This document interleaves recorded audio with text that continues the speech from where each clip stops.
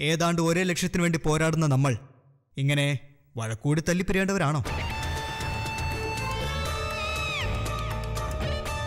ഒരുമിച്ച് നിന്ന നമ്മൾക്ക് രണ്ടുപേർക്കും നേട്ടങ്ങളെ ഉണ്ടാവും. ശിവാനി ആലോചിക്കും.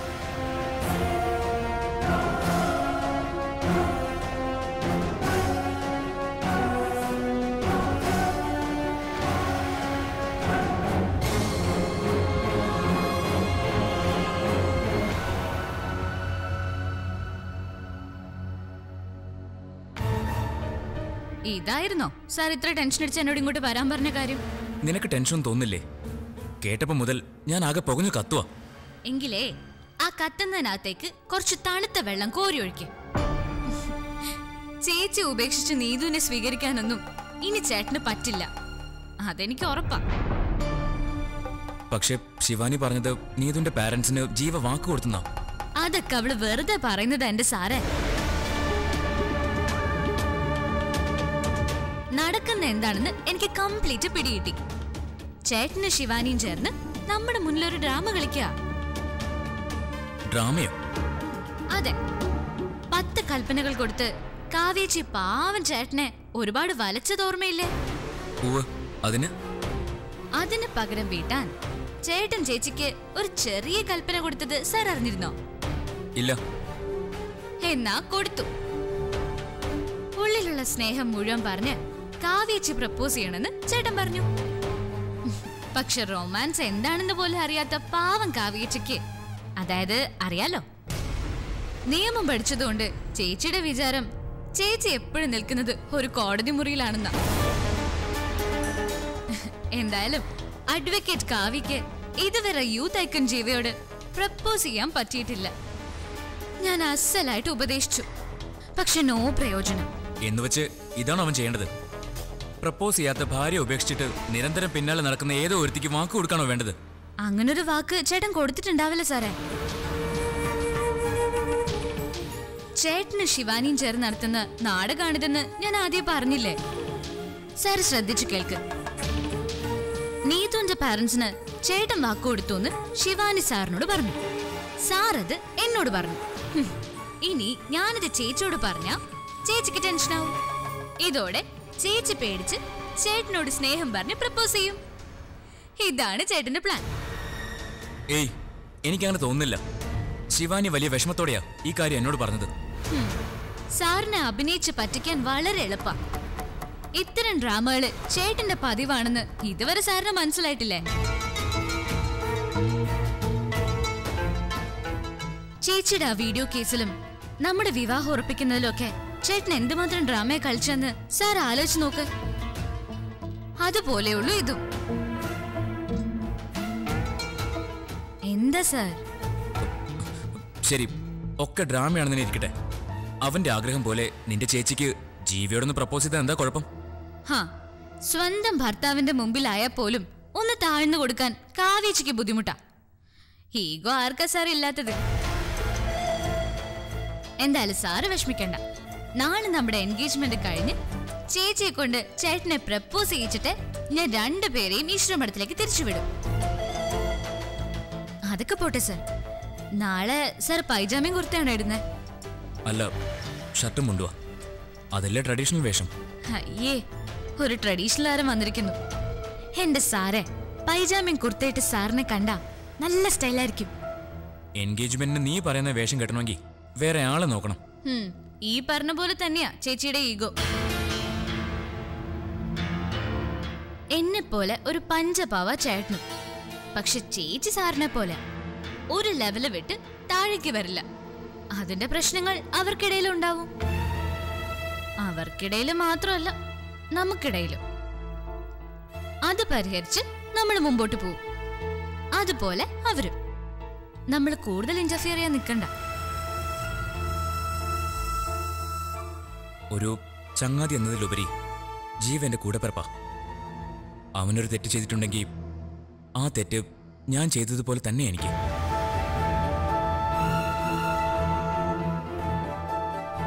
എനിക്കറിയണം. ശിവാനി പറഞ്ഞത് നേരാണോ എന്ന് അതിന് നമ്മുടെ എൻഗേജ്മെന്റ് കഴിയുന്നവരെ കാത്തിരിക്കാൻ എനിക്ക് വയ്യ. ഇന്ന് തന്നെ ഞാൻ സംസാരിക്കും. ജീവിയോടും വേണ്ടി വന്ന കാവ്യോടും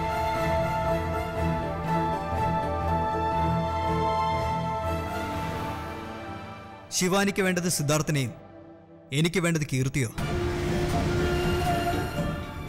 നാളെ എൻഗേജ്മെന്റ് നടക്കാതിരിക്കുകയും കീർത്തി എന്റെ ഭാര്യ ആവുകയും ചെയ്താൽ നമ്മൾ രണ്ടുപേരുടെയും പ്രശ്നങ്ങൾ സോൾവ് ആവില്ലേ? പറഞ്ഞപ്പോ വളരെ പെട്ടെന്ന് തീർന്നു. സിദ്ധുവിനോട് പ്രേമം മൂത്തിരിക്കുന്ന അവൾ എങ്ങനെ നിങ്ങളുടെ ഭാര്യയാകുമെന്നാ പറയുന്നത്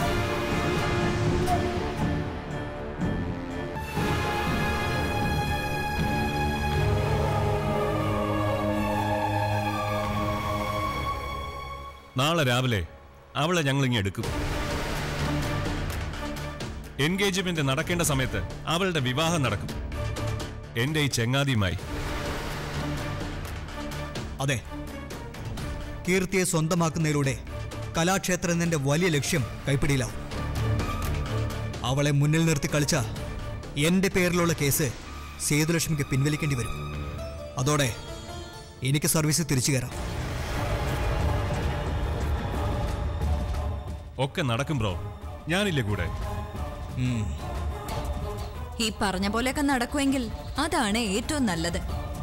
ആളും അർത്ഥവുമായി എന്ത് സഹായത്തിനും ഞാനും ഒപ്പം ഉണ്ടാവും. ഏയ്. ഈ കാര്യത്തിൽ എനിക്ക് ആരുടെ സഹായം വേണ്ട. കീർത്തിയെ സ്വന്തമാക്കേണ്ടത് എന്റെ മാത്രം ആവശ്യം. എന്നാലും സഹായിക്കാം എന്നുള്ള ഓഫർ തള്ളിക്കളയണ്ട ബ്രോ. എതിർപ്പാളയത്തിനുള്ളിൽ നമുക്കൊരാളുള്ളത് നല്ലതാ.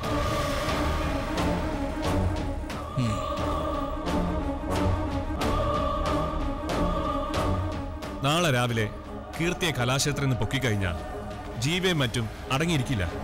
എങ്ങനെയും നമ്മളെ ട്രേസ് ചെയ്യാൻ അവരെ ശ്രമിക്കും. എന്തൊക്കെയാണ് അവിടുത്തെ പ്ലാനിംഗ് എന്ന് നമ്മൾ അറിഞ്ഞാൽ സേഫായി വിവാഹവും ഫസ്റ്റ് നൈറ്റും നടക്കും. അത് കഴിഞ്ഞാൽ പെണ്ണ് പിന്നെ എങ്ങും പോവില്ല. സ്വന്തം ഇഷ്ടപ്രകാരം ഇറങ്ങി വന്നതാണെന്ന് അവൾ പറഞ്ഞോളൂ. അതെ. നാളെ ഒരു പകലും രാത്രിയും കഴിഞ്ഞാൽ എന്റെ ജീവിതത്തിൽ പിന്നെ കീർത്തിയില്ല. അതിനുവേണ്ടി എന്ത് റിസ്ക് ഞാൻ എടുക്കും? ഏട്ടന്റെ നീക്കങ്ങൾ അപ്പപ്പോൾ തന്നെ ഞാൻ ശ്യാമിനെ അറിയിച്ചോളാം. അപ്പോ പുതിയൊരു കൂട്ടുകെട്ട് ഇവിടെ തുടങ്ങുന്നു.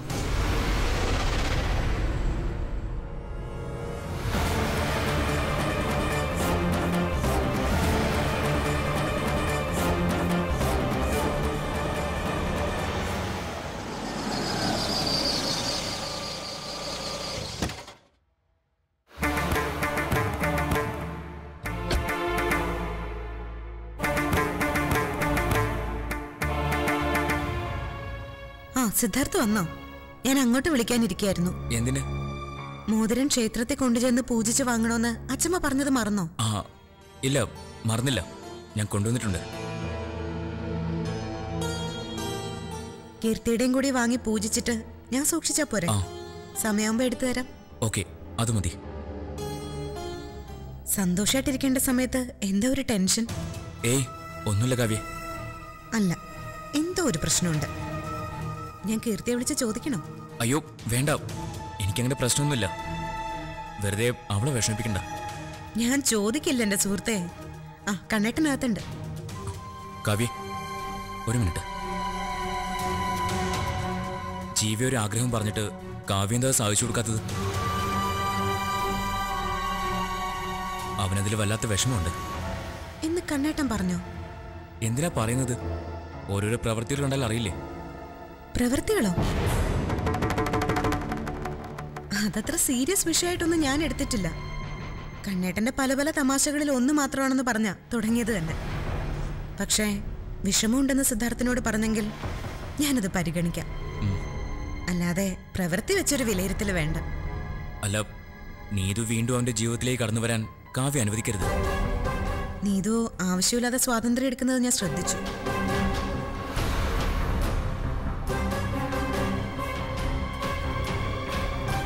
പക്ഷേ കണ്ണേട്ടന് തിരിച്ച് അങ്ങനെ ഒരു അപ്രോച്ച് ഇല്ലാന്ന് എനിക്കറിയാം.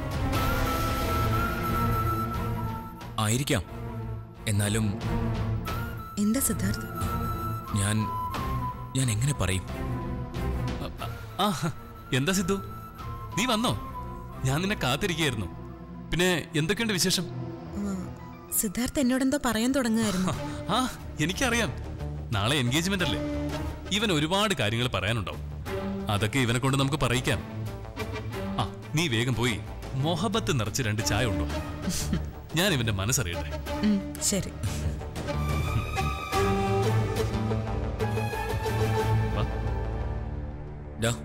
ഞാൻ കേട്ട സത്യമാണോ?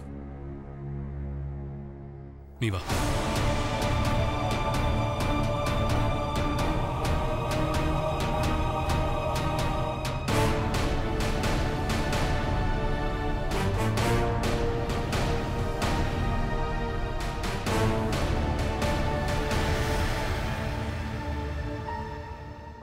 എന്റെ ചോദ്യത്തിന് നീ ഉത്തരം തന്നില്ല. എന്താ? കാവ്യ ഉപേക്ഷിച്ച് നീതുവിനെ സ്വീകരിക്കാന്ന് നീ അവളുടെ പാരന്റ്സിന് വാക്കുകൊടുത്തോ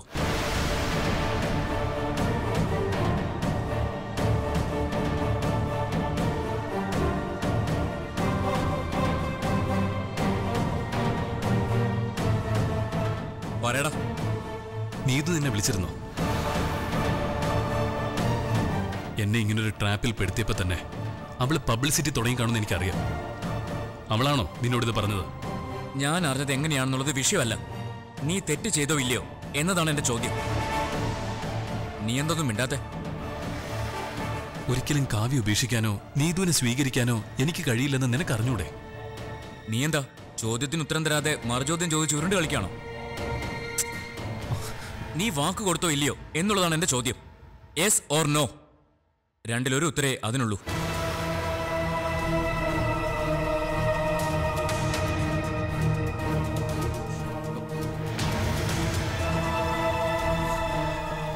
എനിക്ക് എനിക്ക് അങ്ങനെ ചെയ്യേണ്ടി വന്നു.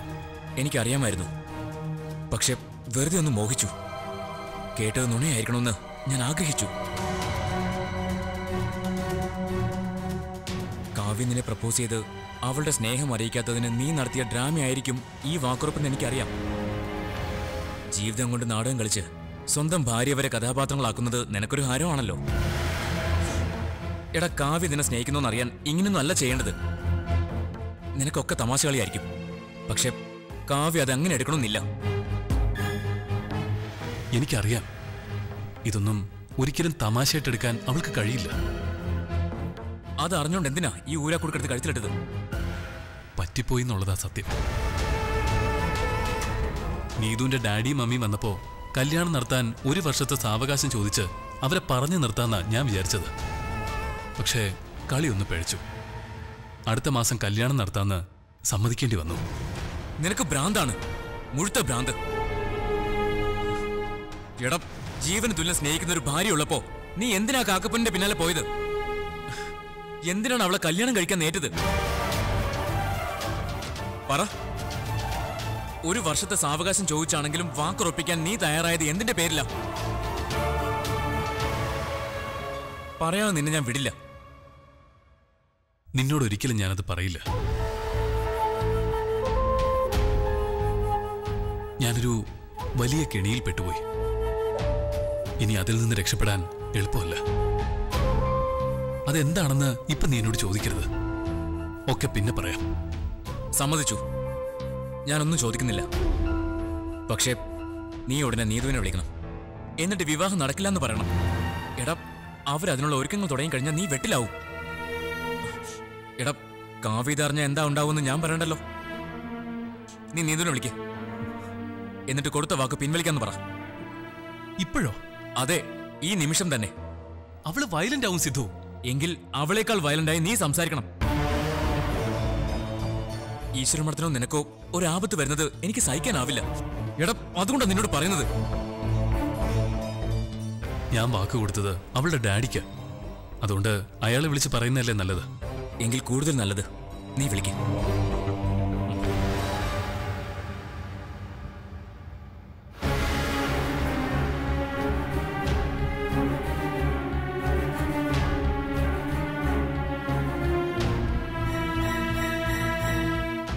Hello mister Jeeva. ആ ഞാൻ താങ്കളെ അങ്ങോട്ട് വിളിക്കാനിരിക്കുകയായിരുന്നു എന്നെയോ? എന്തിന്? താങ്കളുടെ അച്ചമ്മ ഡീൽ ചെയ്യാറുള്ള ഏതോ ഒരു അസ്ട്രോളജറെ കുറിച്ച് മോൾ പറഞ്ഞു. നമ്മുടെ ഡീലിന്റെ കാര്യത്തിലും അയാളെ കൊണ്ട് മുഹൂർത്തം കുറിപ്പിച്ചാലോ? ആ കാര്യത്തിനെ കുറിച്ച് എനിക്ക് കുറച്ചുകൂടി ആലോചിക്കാനുണ്ട്. എടാ ആലോചനയല്ല നടക്കില്ലാന്ന് തീർത്ത് പറ. ആരാ അവിടെ നടക്കില്ല എന്ന് പറഞ്ഞത്? നിങ്ങളുടെ വീട്ടിലുള്ള ആരെങ്കിലും ആണോ? എന്റെ സുഹൃത്താണ് സംസാരിച്ചത്. ആരായാലും എനിക്ക് വിരോധമില്ല. അടുത്ത മാസം തന്നെ ഡീൽ നടന്നിരിക്കണം. സോറി അത് നടക്കില്ല. നടക്കില്ലെന്നോ? അതെ. ഒരു മിസ്അണ്ടർസ്റ്റാൻഡിങ്ങിന്റെ പുറത്താ അന്ന് അങ്ങനെയൊക്കെ നടന്നത്.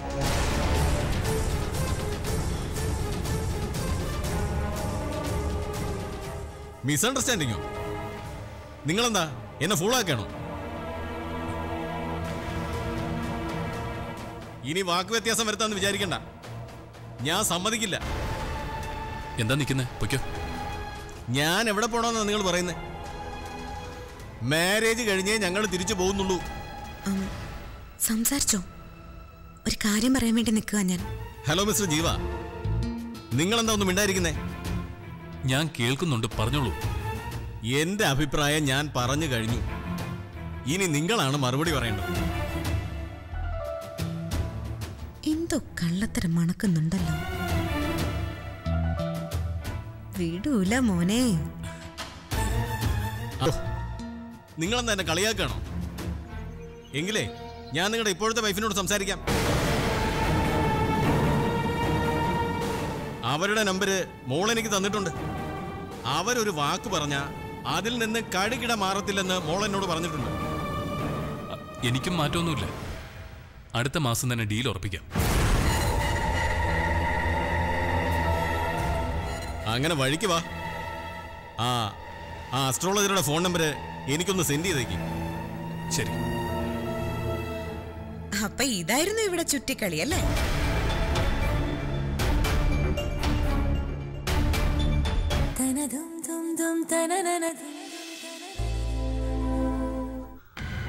ശരി. അപ്പൊ ഇതായിരുന്നു ഇവിടെ ചുറ്റിക്കളി അല്ലേ?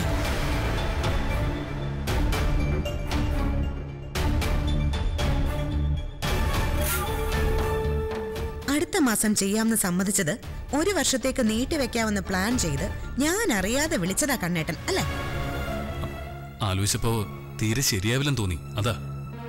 എന്റെ കണ്ണേട്ടാ ആ ഡീൽ അങ്ങ് തീർക്കുന്നതാ നല്ലത്. തീർക്കാന്ന് ഞാൻ പറഞ്ഞത് നീ കേട്ടില്ലേ? ഞാൻ വന്നതുകൊണ്ട് ആ പാവം പ്രൊഡ്യൂസറെ രക്ഷപ്പെട്ടു. പ്രൊഡ്യൂസറോ ആ, നിനക്കറിയില്ല. ഇത് വേറെ പാർട്ടിയാ. അയാളുടെ കാര്യം സിദ്ധാർത്ഥനോട് പറഞ്ഞില്ലേ? ഫോൺ വിളിച്ചിട്ട് പറയാന്ന് കരുതി. അല്ല നിനക്കെന്താ സംസാരിക്കാനുണ്ടെന്ന് പറഞ്ഞത്? ഞാൻ എന്റെ വീട്ടിലേക്കൊന്ന് വൈകിട്ട് പൊയ്ക്കോട്ടെ. മറ്റുള്ളവരെയും കൂട്ടി കണ്ണേട്ടൻ നാളെ രാവിലെ വന്നാ മതി. ശരി. എന്തോ കള്ളം പറഞ്ഞ് നീ ആ പാവത്തിനെ കൂടി തെറ്റിദ്ധരിപ്പിച്ച് വെച്ചിരിക്കുവല്ലേ? എന്ത് ചെയ്യാനാടാ? ഒരു ഗതികേട്. ഇത് ഗതികേടൊന്നുമല്ല. അഹങ്കാരത്തിന്റെ ഫലമാ എടാ ജീവിതവും സിനിമ പോലെയാണെന്ന് കരുതി പ്രവർത്തിച്ചത് കൊണ്ടുള്ള അപകടമായത് നീ ഒന്നുകൂടി അയാളെ വിളിച്ച് സംസാരിക്കും. ഇനി അയാളെ വിളിച്ച പ്രശ്നമാവും സിദ്ധു? എന്ത് പ്രശ്നം? ഞാൻ പിന്മാറിയ അയാൾ കാവ്യ വിളിക്കുമെന്ന് പറഞ്ഞു. ഇതൊക്കെ അറിഞ്ഞ ആ നിമിഷം അവളെന്നെ വിട്ടുപോകും. പക്ഷെ കാവ്യ അറിയാതെ ഈ പ്രശ്നം പരിഹരിക്കാൻ ആവില്ല ജീവ. നീ അവളോട് തുറന്ന് സംസാരിക്കും. പറ്റിപ്പോയിന്ന് പറഞ്ഞ് വേണ്ടി വന്നാൽ കരഞ്ഞ് കാലു പിടിക്കും. അതേ രക്ഷയുള്ളൂ. ചെയ്യാം. ആദ്യം എൻഗേജ്മെന്റ് ഒന്ന് കഴിയട്ടെ. അതിനുശേഷം സംസാരിക്കാം. അല്ലെങ്കിൽ എല്ലാവരുടെയും സന്തോഷം ഊതിക്കെടുത്തുന്ന പോലെയാവും. എൻഗേജ്മെന്റ് കഴിയുന്നവരെ മറ്റാരെങ്കിലും പറഞ്ഞ് കാവ്യ അറിയാതിരുന്നാൽ മതിയായിരുന്നു. മൂന്നാമതൊരാൾ പറഞ്ഞറിയുമ്പോഴാണ് കൂടുതൽ പ്രശ്നമാവുന്നത്.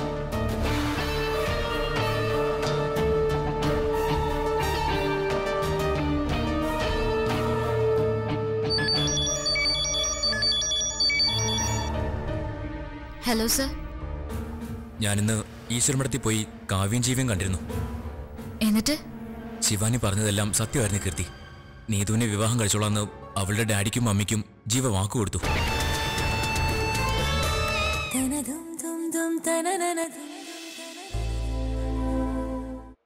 ശിവാനി പറഞ്ഞതെല്ലാം സത്യമായിരുന്നു കീർത്തി. നീതുവിനെ വിവാഹം കഴിച്ചോളാന്ന് അവളുടെ ഡാഡിക്കും അമ്മയ്ക്കും ജീവ വാക്കു കൊടുത്തു.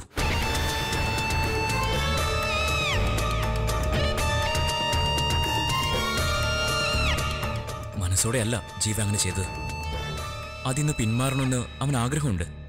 പക്ഷേ നീതു ഒരു നീരാളിയെ പോലെ അവന് ചുറ്റി വരിഞ്ഞിരിക്കുക അതിന്റെ കാരണം എന്താണെന്ന് മാത്രം എനിക്കറിയത്തില്ല.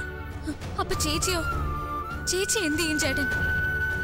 ഒരിക്കലും അവൻ കാവ്യ ഉപേക്ഷിക്കില്ല എന്നുള്ളത് തീർച്ചയാണ് പക്ഷെ നീതുവിന്റെ ട്രാപ്പിൽ നിന്ന് പുറത്തു കടക്കാനും അവന് കഴിയുന്നില്ല. അവളിൽ നിന്ന് ചേട്ടൻ അകന്നേ പറ്റൂ. നിയമപരമായി ഒരു ഭാര്യയുള്ളപ്പോ മറ്റൊരുത്തിയായിട്ട് ബന്ധം സ്ഥാപിക്കുന്നത് മാപ്പർഹിക്കാത്ത തെറ്റാ. ആ തെറ്റ് ചെയ്യാൻ ചേട്ടനെ നമ്മൾ അനുവദിക്കരുത്. ഇതൊക്കെ ഞാനും അവനോട് പറഞ്ഞു. പക്ഷേ എന്ത് ട്രാപ്പിലാ നീതു ജീവിയെ കുടിക്കുകയെന്നറിയണം. എങ്കിലല്ലേ നമുക്ക് അവനെ സഹായിക്കാൻ പറ്റൂ.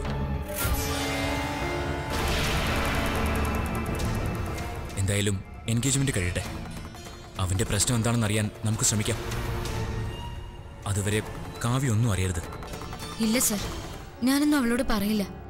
അറിഞ്ഞ ചേച്ചിക്ക് സഹിക്കാനാവില്ല.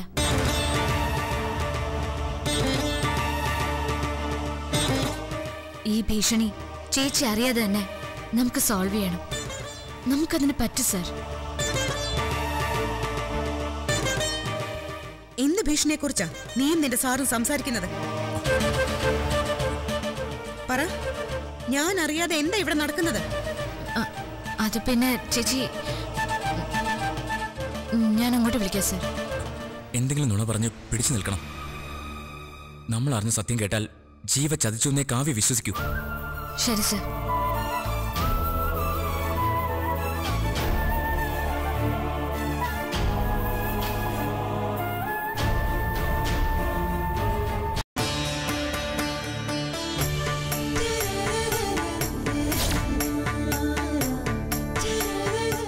സന്തോഷത്തോടെ അവരെ സ്വീകരിക്കണം. അവരെ കുറവിട്ട് താലപ്പൊലിയോട് സ്വീകരിക്കാനല്ല ഞാൻ ഇങ്ങോട്ട് വന്നത്.